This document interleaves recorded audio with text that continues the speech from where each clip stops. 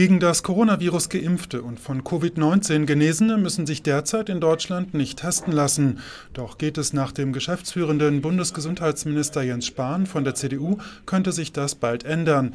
Stattdessen plädiert Spahn für die 2G-Plus-Regel. Deshalb wäre es aus meiner Sicht, aus unserer Sicht konsequent, wenn wir öffentliche Veranstaltungen erstens nur für Geimpfte und Genesene ermöglichen und zweitens nur dann, wenn diese zusätzlich einen aktuellen Test vorweisen. Um die 2G-Plus-Regel umzusetzen, sollen Corona-Tests wieder kostenlos werden, führt Spahn aus.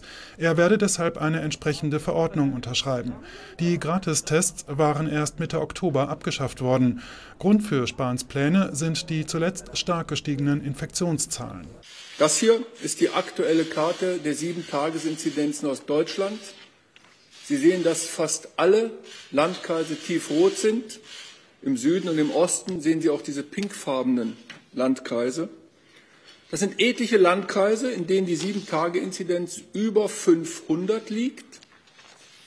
In vielen liegt sie über 800, ja 900, vier sogar über 1000. In der kommenden Woche soll eine Konferenz der Ministerpräsidenten über das weitere Vorgehen entscheiden. Dabei dürfte es auch um die 2G-Plus-Regel gehen.